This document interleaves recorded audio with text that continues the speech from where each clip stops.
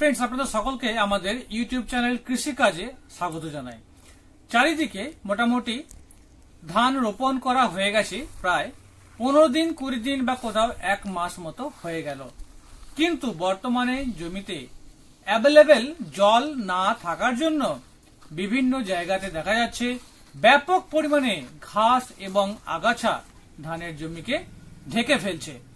তো রীতিমতো আমাদের মাথাতে চাষি বন্ধুদের মাথাতে একটা টেনশন রয়েছে কীভাবে সেই আগাছাগুলোকে মারা যায়।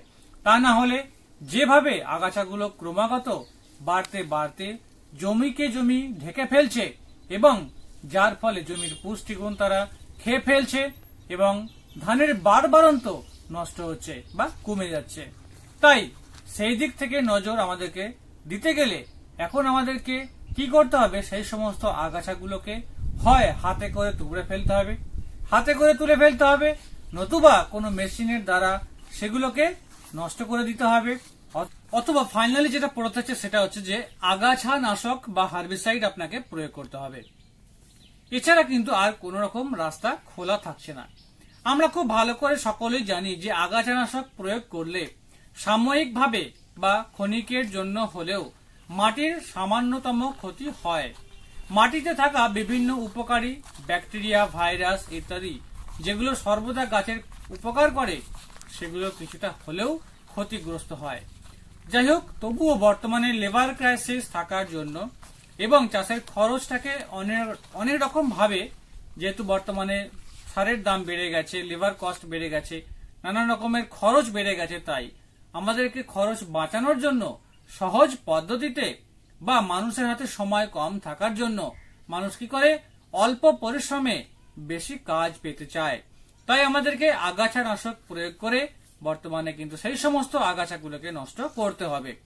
তো ফ্রেন্ডস আজকে আমার ভিডিওটির মূল উদ্দেশ্য হলো যে সমস্ত বন্ধুরা যারা অলরেডি ধান রোপণ করে ফেলেছেন কুড়ি দিন, পনেরো দিন, কুড়ি দিন, এক মাস হয়ে গেছে, তারপরে জমিতে ঘাস বেরোতে শুরু করেছে। রীতিমতো সবাই কিন্তু দুশ্চিন্তায় পড়ে গেছেন। তো দুশ্চিন্তার কোনো কারণে আজকে আমি একটা বেস্ট সলিউশন আপনাদের কাছে আনতে পেরেছি, যার জন্য আপনাদেরকে যেটা বলে খুব ভালো লাগছে আমারও, যেটা হচ্ছে যে পিআই ইন্ডাস্ট্রিজের নমিনি গোল্ড আপনারা প্রত্যেকে ব্যবহার করুন। এটা পোস্ট ইমার্জেন্স হার্বিসাইড অর্থাৎ ঘাস বেরিয়ে গেছে, আগাছা বেরিয়ে গেছে দু পাতা তিন পাতা চার পাতা পাঁচ পাতা হয়ে গেছে। সেই মোমেন্টে আমরা কি করব? সেই আগাছাগুলোকে মারব, নমিনি গোল্ড প্রয়োগ করে। হার্বিসাইড পোস্ট এমার্জেন্স আর প্রি এমার্জেন্স দুই প্রকার হয়ে থাকে, আপনারা খুব ভালো করে জানেন। প্রি এমার্জেন্স যেগুলো হচ্ছে ঘাস বেরোনোর আগে আমাদেরকে প্রয়োগ করতে হয়, আর পোস্ট এমার্জেন্স যেগুলো হচ্ছে ঘাস বেরিয়ে যাওয়ার পরে আমাদেরকে সেগুলোকে মারার জন্য প্রয়োগ করতে হয়। তো আজকে নমিনি গোল্ড নিয়ে আজকে আপনাদের সামনে আমি বিস্তারিত আলোচনা করব। ভিডিওটি শেষ পর্যন্ত দেখবেন, ভালো লাগলে লাইক করবেন আর বন্ধুদেরকে অবশ্যই শেয়ার করবেন।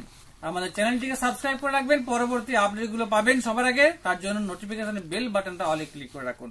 নমিনি গোল্ড হলো একটা ব্রড স্পেকট্রাম হার্বিসাইড এবং সিস্টেমেটিক স্প্রে করা মাত্রই খুব সহজে গাছ সেটাকে শোষণ করে নেয় এবং যতটা সম্ভব তাড়াতাড়ি তার কাজ শুরু হয়ে যায় এবং শীঘ্রই সেই ঘাসগুলো, সেই আগাছাগুলো আস্তে আস্তে মরতে থাকে। এর যে কেমিক্যাল কম্পোজিশন হলো bispyribac sodium ten percent SC চলুন, এবার আমরা জেনে নেব যে বিসপাইরিব্যাক সোডিয়াম বা নমিনি গোল্ড এর কাজটা মূলত কি? যে কোনো ধরনের ঘাসকে আমরা কিন্তু অনায়াসে মারতে পারব এই বিসপাইরিব্যাক সোডিয়াম প্রয়োগ করে। দু থেকে পাঁচ পাতা হওয়া মাত্রই আমরা তৎক্ষণাৎ সেই নমিনি গোল্ড বা বিসপাইরিব্যাক সোডিয়ামকে আমরা স্প্রে করব। মাথায় রাখবেন, শুধুমাত্র আগাছায় বেরোনোর পরেই কিন্তু এটাকে ব্যবহার করতে হবে, আগে নয়। এবং যখন স্প্রে করবেন, দেখবেন আগামী ছ ঘণ্টার মধ্যে যেন আকাশ পরিষ্কার থাকে, বৃষ্টিপাত না হয়। কারণ বেস্ট রেজাল্ট পেতে গেলে স্প্রে করার ছ ঘণ্টা পর্যন্ত কিন্তু কোন রকম বৃষ্টিপাত হওয়া যাবে না। তারপরে বৃষ্টি হলে কিন্তু কোন রকম সমস্যা নেই। তবে তিন ঘণ্টা, চার ঘণ্টা পর যদি অল্প স্বল্প বৃষ্টিপাত হয়ে যায়, সেক্ষেত্রে খুব একটা ক্ষতি হয় না। হ্যাঁ তাতেও কিন্তু কাজ হবে। যারা প্রি এমার্জেন্স হার্বিসাইড ব্যবহার করেছিলেন, অল্প কিছু আগাছা বেঁচে গেছে, তারা মরেনি। তাদের জন্য বলব, আপনারাও কিন্তু নমিনি গোল্ড ব্যবহার করুন, খুব ভালো ফল পাবেন। অল্প ডোজে খুব দারুণ কাজ পেতে গেলে আপনাকে বিশ ব্যাগ সোডিয়াম বা নমিনি গোল্ড প্রয়োগ করতে হবে, যেটা ধান গাছের কোন রকম ভাবে ক্ষতি করে না। টু ফোর ডি বাজারে যেটা রয়েছে, আপনারা খুব ভালো করে জানেন। টু ফোর ডি থেকে নমিনি গোল্ড কিন্তু অনেক অনেক বেটার অনেক ভালো। আমরা দেখেছি টু ফোর ডি প্রয়োগ করে অনেক সময় ধান গাছও সবুজ, হলুদ হয়ে যায়। সেক্ষেত্রে ধান গাছের গ্রোথ নষ্ট গ্রোথ কমে যায়, ফল খারাপ হয়। তাই তার টু ফোরটি ব্যবহার না করে আমরা আপনাদেরকে বলব টু ফোরটির চাইতে নমিনি গোল্ড কিন্তু অনেক অনেক উন্নত হার্বিসাইড এবার আমরা জেনে নেব যে কীভাবে এটাকে আপনারা ব্যবহার করবেন।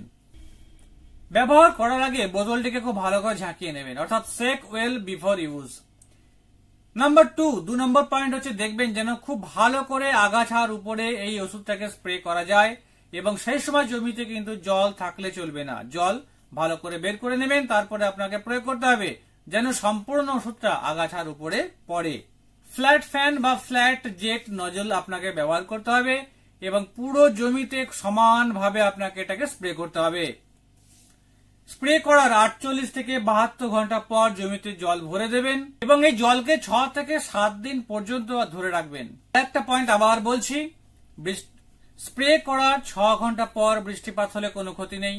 ছ ঘণ্টার মধ্যে যেন বৃষ্টিপাত না হয়, সেইভাবে আপনি আকাশের দিকে তাকিয়ে ওয়েদারটাকে দেখে এটাকে স্প্রে করবেন। আমি সকল বন্ধুদেরকে বলব যে বিস্পাইরেবাক সোডিয়াম বা নবিনী গোল্ড সকালে সূর্য উদয়ের পরেই আপনারা ব্যবহার করুন আকাশের দিকে তাকিয়ে। চলুন এবার আমরা ডোজটা সম্পর্কে একটুখানি আলোচনা করে নিই। আশি থেকে একশো কুড়ি এম প্রতি একরে আমাদেরকে এটাকে ব্যবহার করতে হয়। তবে দশ এম প্রতি পনেরো এম লিটারের ড্রামে, পনেরো লিটারের ড্রামেও কিন্তু আপনারা দশ এম হাড়ে গুলে স্প্রে করতে পারেন। দাম সম্পর্কে একটু আইডিয়া দিয়ে দিই, মোটামুটি একশো এম এর দাম পাঁচশো টাকার আশপাশ। দেখা গেছে এটা বায়ুমণ্ডলে কিন্তু কোন রকম ভাবে ক্ষতি করে না, অর্থাৎ এটা সম্পূর্ণভাবে কিন্তু ইকো ফ্রেন্ডলি যেহেতু এটা একটা হার্বিসাইড সামান্য কম বেশি হলেও কিন্তু মাটির ক্ষতি একটু হয়। আমরা আগেও বলেছি যে মাটিতে থাকা বিভিন্ন রকমের মাইক্রো অর্গানিজমকে এরা সাময়িকভাবে ক্ষতিগ্রস্ত করে। সময় আমরা চেষ্টা করব যাতে আগাছা নাশক ব্যবহার না করে আমরা সেই আগাছার সমস্যাটাকে দূর করতে পারি, সেই চেষ্টাটা আগে করব। যদি সম্ভব হয়। প্যাকিং বাজারে আপনি দশ এম এল পঞ্চাশ এম এল একশো এম এল দুশো এম এল পাঁচশো এম এল এমনকি এক লিটারের প্যাকেও কিন্তু আপনি অনায়াসে পেয়ে যাবেন। এবার আমি বলব যে এটাকে ব্যবহার করতে গেলে আপনাকে কি কি সাবধানতা মেনটেন করতে হবে।